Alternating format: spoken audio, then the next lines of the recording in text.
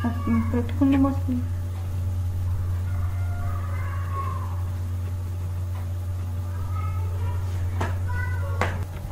अस्सलाम स्टूडेंट, आज जो एक्सपेरिमेंट नंबर थ्री है, इसमें हम मैयर करेंगे thickness of metal strip or wire by using screw gauge screw gauge को हम यूज़ करेंगे और इसके थ्रू हम मेटेलिक स्ट्रिप लेंगे या वायर लेंगे और इसके क्या पॉइंट आउट करेंगे? थिकनेस पॉइंट आउट करेंगे. तो ये आप लोग का पेज नंबर जो है पेज नंबर सिक्स पे आप लोग का ये एक्सपेरिमेंट है।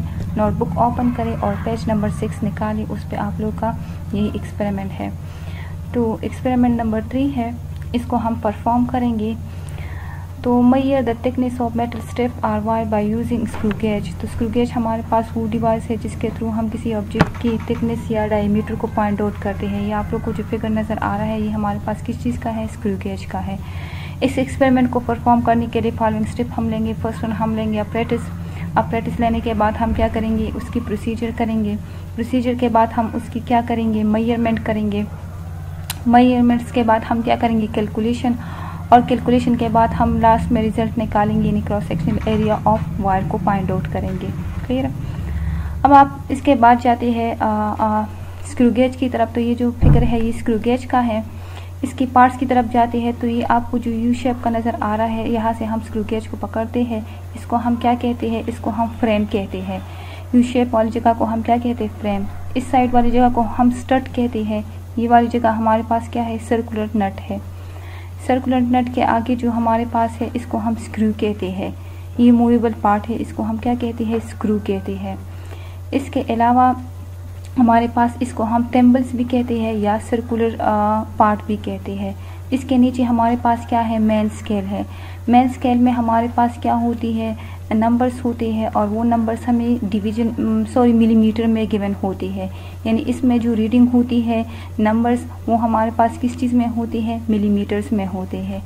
इसके अलावा जो सर्कुलर स्केल है, इसके ऊपर जो रीडिंग होती है तो वो हमारे पास क्या होती है? डिवीज़न में होते हैं। और इसमें टोटल हमारे पास कितने डिवीज़न होते हैं? हंड्रेड यानी इसकी टोटल हंड्रेड पार्ट होती है। तो ये हमारे पास इसका पार्ट हो गया। अब नेक्स्ट हम जाते हैं। लास्ट में आपको जो नज़र आ है, इसको हम रिचट कहते हैं। इसके थ्रू हम क्या करते हैं? स्क्रू को क्लोज या ओपन कर लेते हैं। यहाँ पे जिस तरह आपको नज़र आ रहा है। क्लियर अब नेक्स्ट वन हम क्या करेंगे? स्क्रू को ओपन करेंगे तो यहाँ पे स्टड और स्क्रू के दरमियान क्या वायर रखते हैं? कोई ऑब्जेक्ट वायर रखते हो, इसकी हम क्या फाइंड आउट करते हैं? थिकनेस को फाइंड आउट करते हैं।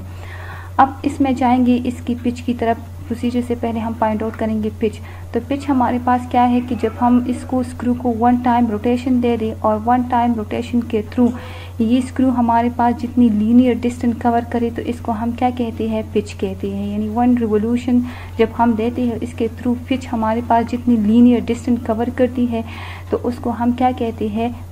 पिच कहती है। ठीक है? तो पिच का तरीकाकार हम इसका स्क्रू गेज का पिच किस तरह फाइंड आउट करेंगे? तो ये हमारे पास है कि नंबर ऑफ़ रिवोल्यूशन और साथ में क्या है? टोटल जो इन्होंने डिस्टेंस कवर किया है, वो स्क्रू ने। तो पिच को फाइंड आउट करने के लिए तरीकाकार हमारे पास क्या है कि हम ले लेंगे। यहाँ पे हम इसको रोटेशन देंगे। तो रोटेशन के थ्रू ये हमारे पास जितनी डिस्टेंस कवर करेगी। तो distance moved by main scale main scale ने जितनी डिस्टेंस कवर की है, वो फाइव मिलीमीटर है। नंबर ऑफ़ रिवोल्यूशन यानी इसको हमने फाइव टाइम रिवोल्यूशन दी है। तो वो हमारे पास क्या हो गई है? फाइव हो गई है। अब हम इसकी क्या पॉइंट आउट करेंगे? पिच तो पिच हमारे पास इक्वल है distance moved by table or main scale divide by number of revolution यानी मेन स्केल पर जितनी डिस्टेम्बल रोटेशन करी वो और साथ में नंबर ऑफ़ रिवोल्यूशन तो मेन स्केल पे हमारे पास जो डिस्टेंस कवर की है, उन्होंने वो कितनी है? फाइव नंबर ऑफ़ रिवोल्यूशन कितनी है? फाइव तो फाइव इंटू फाइव तो वन मिलीमीटर हो गया.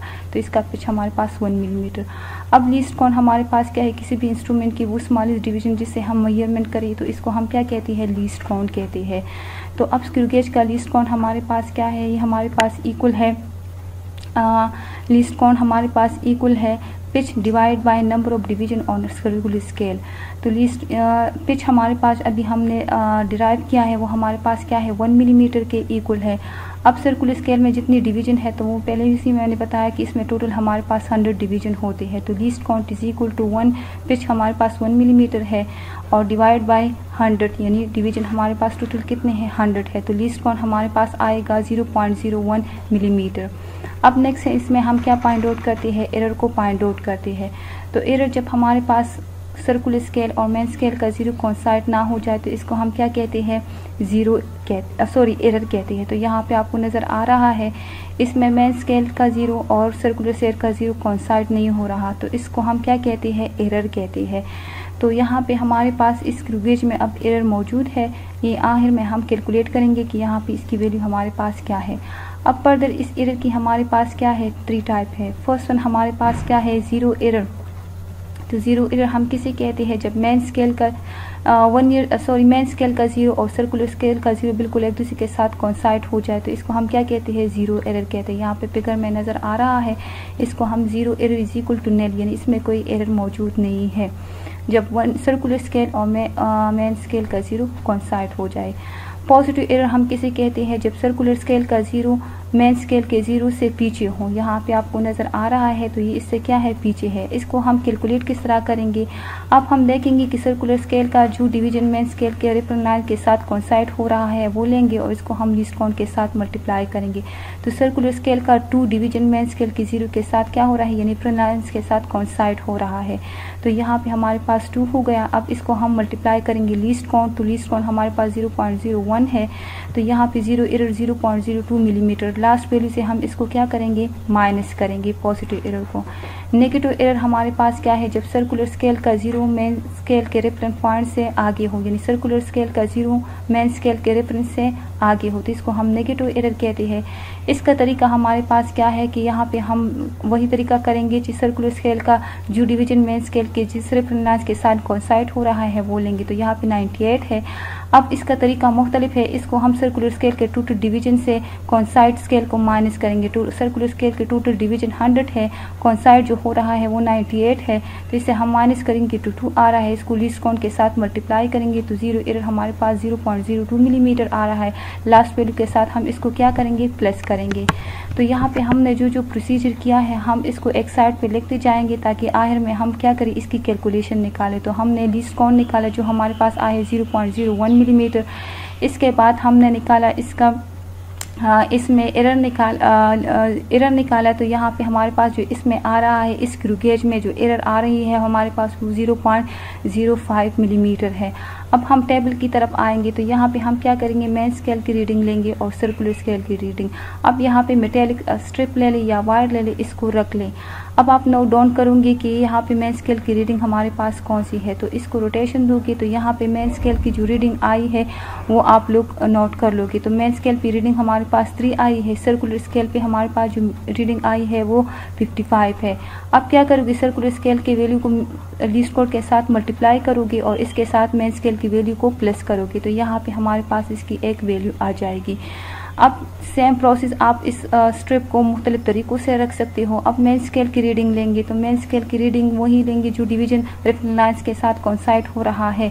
तो वही हमारे पास सर्कुलर स्केल की रीडिंग होगी और मेन स्केल की रीडिंग हम यहाँ पे नोट करेंगे कि कौन सी पॉइंट पे आ रहा है। तो अगेन यहाँ पे थ्री आ रहा है और यहाँ पे फिफ्टी थ्री रेफरेंस स्केल के साथ कॉन्साइड हो रहा है। अगेन सेम प्रोसेस वहाँ करें सर्कुलर स्केल के साथ लीस्ट काउंट मल्टीप्लाई करें और मेन स्केल की वैल्यू को प्लस करें। सेम प्रोसेस आप रिपीट करवाएँ तो आपके पास मुख्तलिफ़ डायमीटर मिलीमीटर में आ जाएगा। इन तमाम वैल्यू को आप फिर क्या करोगे? एवरेज लोगे तमाम वैल्यू की प्लस करोगे और जितने नंबर है उस पर डिवाइड करोगे। तो यहाँ पे आपके पास लास्ट वैल्यू जो ज़ीरो एरर आपके पास पॉजिटिव आया है तो उस एब्जर्व वैल्यू से आप इसको क्या करोगे? माइनस करोगे। तो आपके पास फाइनल वैल्यू आ जाएगा। तो ट्रू डायमीटर आपके पास जो आया है observe diameter minus plus zero minus zero correction तो यहाँ पे आपके पास ऑब्ज़र्व वैल्यू ये है। अब इससे आप क्या करोगे? ज़ीरो एरर जो पॉजिटिव आपके पास आया है, इसको आप क्या करोगे? माइनस करोगे। तो वो आपके पास zero point zero five millimetre आया है तो इनसे ये वैल्यू माइनस करें तो आपके पास टू डायमीटर की वैल्यू आ जाएगी। तो ये हमारे पास परफॉर्म हो गया एक्सपेरिमेंट नंबर थर्ड मीटर हो गया।